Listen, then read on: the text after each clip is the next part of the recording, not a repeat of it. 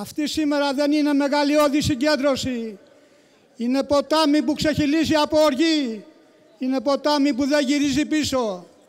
Να απευθύνω κι εγώ εκ μέρους της Πανελλήνιας Ομοσπονδίας Συνταξιούχων Επικουρικής Ασφάλισης το χαιρετισμό μας, να πω ένα μπράβο και ένα χειροκρότημα στους συναδέλφους που με αντίξεως οικονομικές συνθήκες ήρθαν από την επαρχία και συγκεντρωθήκαν σήμερα εδώ. Ένα μεγάλο χειροκρότημα λοιπόν στις συναδέλφισες που ήρθαν από την επαρχία σήμερα.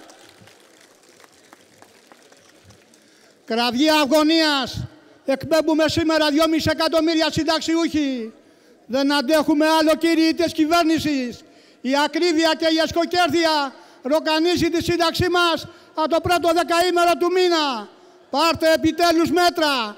Μειώστε το ΦΠΑ στα τρόφιμα. Μειώστε το ΦΠΑ στην ενέργεια.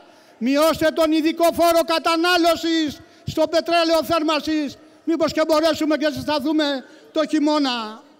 Συναδέλφισες και συνάδελφοι,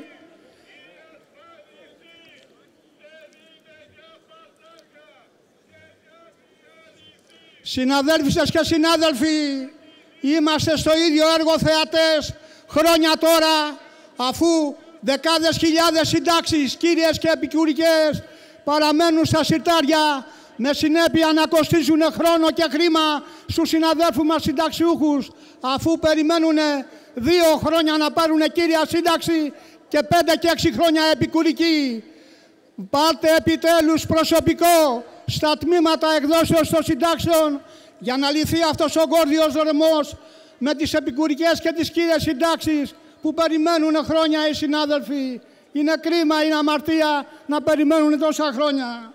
Συναδέλφισες και συνάδελφοι, εκείνο που θέλω να πω δύο κουβέντες ακόμα για το καινούριο επικουρικό ταμείο που ιδρύθηκε το 2022.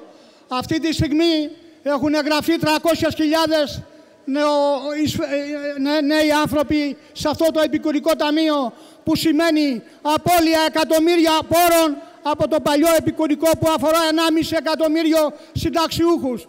Τι σημαίνει αυτό, ότι σε βάθος 30-40 χρόνια η τρύπα θα είναι 50 δισεκατομμύρια που άμεσα σε 2-3 χρόνια θα εξαλείψουν τις επικουρικές μας συντάξεις. Είμαστε κάθετοι αντίθετοι στην ιδιωτικοποίηση της επικουρικής σύνταξης. Συναδέλφοι σας και συνάδελφοι, ότι έχουμε κερδίσει όλα αυτά τα χρόνια, το έχουμε κερδίσει μόνο μέσα από τους αγώνες μου. Μαζικά λοιπόν και ενωτικά, για άλλη μια φορά, να πούμε από εδώ και πέρα, όχι κύριοι, μέσα από τους αγώνες μας θα βάλουμε μαύρο στη ζωή που μας ετοιμάζουν. Γεια σας, καλές γιορτές με υγεία και ελευθεριά στην Παλαιστίνη.